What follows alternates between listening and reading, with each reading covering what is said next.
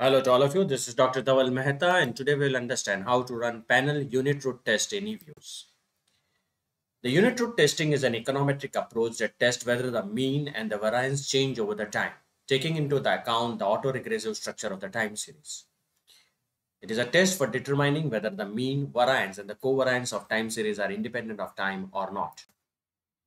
In the panel unit root test framework, two generations of tests have been evolved a first generation Levin, Lin and Chu test 2002, IM Pesaran and Shin test 2003 and Fisher type test.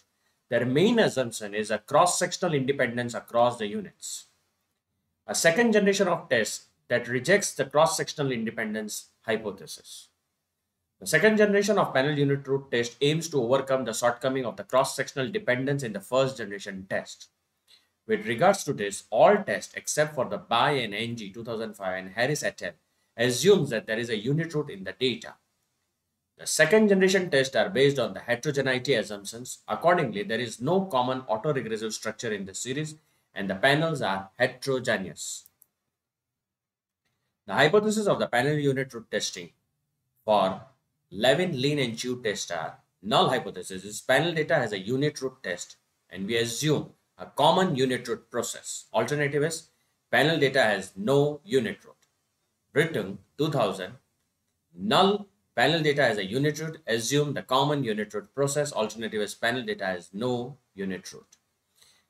I am Pesaran in Shin 2003. The null hypothesis panel data has a unit root and we assume the individual unit root process and the data is non-stationary. The alternative is panel data has no unit root and the data is stationary. Fisher type test using ADF and PP test. Maddala and Wu 1999 and Choi 2001. The null hypothesis is panel data has a unit root and we assume it's the individual unit root process. Alternative is panel data has no unit root. Hadri 1999. The null hypothesis is panel data does not have the unit root. Data is stationary. Alternative is panel Panel data has a unit root, data is non-stationary. Now how to run this test in eViews, let's see.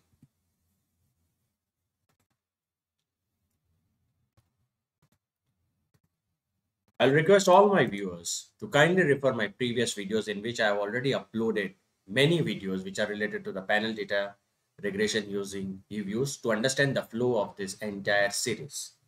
This data has been taken from the book Basic Econometrics by Damodar Gujarati. Open as row. And you can see here, year is there, observation is there, y, dependent variable, x2, independent variable, x3, independent variable. Now this is a panel data. I want to check the stationarity of the dependent variable y. So for this, I'll go in quick series statistics, unit root test, write down y here, click OK. You should activate the summary from here. Make sure it's the test for unit root is on level and this is an individual intercept. Click OK.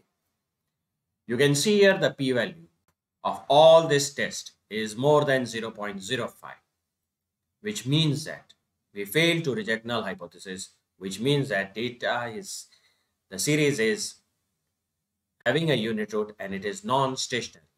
Technically, we will write this as as the p-value of all this test is more than 0.05, we fail to reject null hypothesis, which means that the series is having a unit root and the data is non-stationary.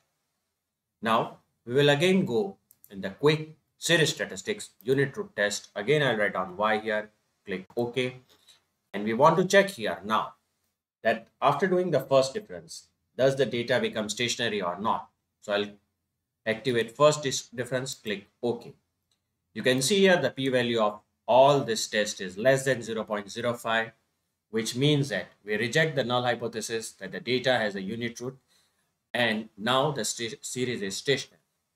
Technically, we will write here as the p-value is less than 0.05, the null hypothesis is rejected, which means that the series does not have the unit root, which means that the series is stationary.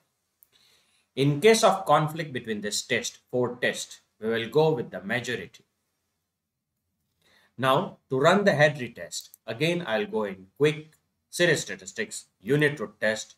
I'll write on here Y. Click OK. Activate Hadri from here. Again, label.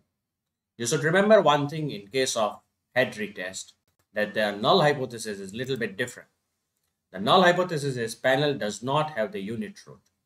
That is a null. And the alternative is panel has a unit root. Click OK. Here, the p-value is less than 0.05, which means that the null is rejected. And you can very well interpret here the panel data has a unit root and it is non-stationary. Again, we will go back in quick estimate equation, sorry, quick series statistics, unit root test, y, okay, make sure Hadri is on. Now we will check for the first difference, click OK. Now you can see here the p-value is less than 0.05. Again, we reject null hypothesis, which means that the panel data has the unit root. We have already discussed that in case of dispute between this test or conflict between this test, we will go for the majority wins. For more videos on panel data regression using eViews, kindly subscribe to my channel. Please don't forget to press the like button. You can see my playlist in which I already uploaded many videos which are related to the panel data regression using eViews. You can follow me on LinkedIn and Twitter.